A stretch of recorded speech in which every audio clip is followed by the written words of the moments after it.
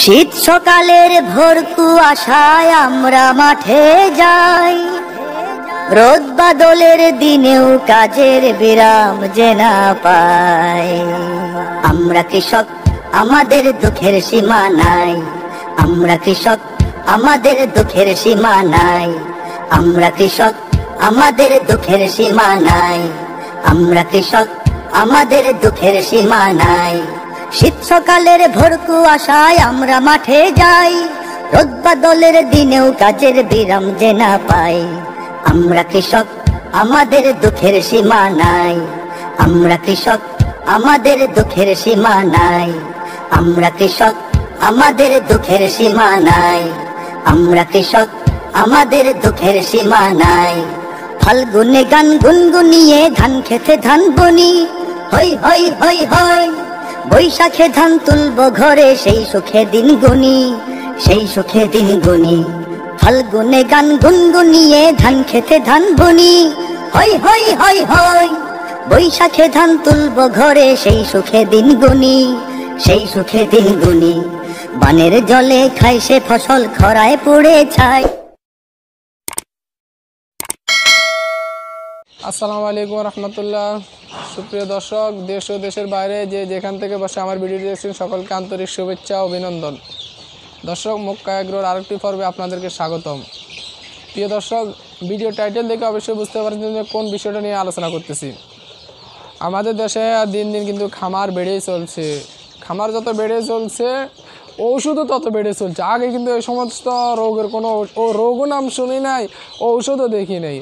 যে হিসাবে উৎপাদন হার যেহেতু বৃদ্ধি পাচ্ছে দিন, এই জন্য ওষুধটাও দিন দিন বিভিন্ন ধরনের বিভিন্ন ওষুধ বৃদ্ধি পাচ্ছে আর বিভিন্ন রোগও সাথে সাথে বৃদ্ধি পাচ্ছে আসলে। ওইটার মূল কারণ। তো দর্শক, আমরা যারা পামি সোনালি টাইগার সাধারণত দেশীয় আকার যে মুরগিগুলো আমরা পালন করি হ্যাঁ এদের এই মুরগিগুলো সাধারণত একটি সমস্যা না পড়লে না হয়। মানে এটা হবেই। আপনি একদম বলেন যে কী খাদ্য খাওয়াবেন যে এটা না হওয়ার জন্য, কিন্তু এটা সমস্যাটা হবে একটু সমস্যাটা দেখা দিবে। হয়তো কারও মারাত্মক দেখা যায়, কারও কম।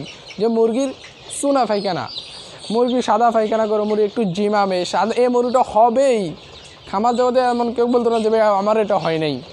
হয়তো কারও কম, কারও বেশি, এটাই এতটুকু পার্থক্য। তো আপনার মুরগি যখন জিমায় আর সাথে সাথে চুনা পায়খানা করে, আসলে মুরগি সাধারণত পায়খানা দেখলে আপনাকে বুঝতে হবে যে মুরগির এখন কোন রোগ। সাধারণত মুরগি চুনা পায়খানা বেশি আকার দেখা দিলে, সাধারণ কম দেখা গেলে সাধারণ রোগ চুনা পায়খানা পায়খানা সমস্যা হয়তো হালকা কোনো নর্মাল ওষুধ ইউজ করলে এটা চলে যায়। কিন্তু মুরগি যখন অতিরিক্ত সোনা পায়খানা করে জিমায় তখন আপনাকে হাই ধরনের অ্যান্টিবায়োটিক ব্যবহার করতে হবে। তো আজকে আপনাদেরকে বলব যে সাধারণ জিমালে মুরগিকে কোন অ্যান্টিবায়োটিকটা ব্যবহার করবেন, আর সাধারণ বা চুনা পায়খানাগুলো কোন অ্যান্টিবায়োটিকটা ব্যবহার করবেন? আর বেশি আকারে চুনা পায়খানা বললে আপনার বেড়ার জন্য কোনো রোগ হলে কোন অ্যান্টিবায়োটিকটা ব্যবহার- করবেন? পুরো ভিডিও জুড়ে আমাদের সাথে থাকুন। আমি আপনাদের সাথে আছি, আমি হাফেজ নজরুল ইসলাম। আর দর্শক মুড়ি যখন সাধারণ চুনা পায়খানা করবে, সেক্ষেত্রে আপনি রানাবক্স রানামক্স ওষুধটা ব্যবহার করুন, বল- ভালো কাজে পাবেন, আমি পাইছি। এরপরে আপনার একটা ওষুধ হচ্ছে যে নাবামক্স। এই ওষুধটা কোনো মোটামুটি ভালো কাজ করে। আর সাথে সাথে আপনার এর সাথে রানামাইসিনটাও ইউজ করতে পারেন। সেক্ষেত্রে কিন্তু ওইটাও ভালো কাজ করে, একসাথে মিক্স ইউজ করবেন। হুম।